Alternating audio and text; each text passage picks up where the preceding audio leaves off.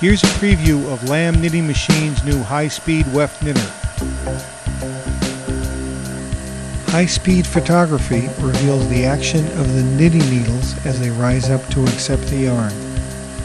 Each revolution of the yarn around the needles produces one course of knit material. The machine knits at a very productive 2,300 courses per minute. Takedown rollers and the roll-up spool's driving drums are precisely controlled with a DC-driven gear motor. The weight of the spool keeps it in firm contact with the roll-up driving drums. As the spool fills, it rises up slowly. The traverser positions the cord onto the spool.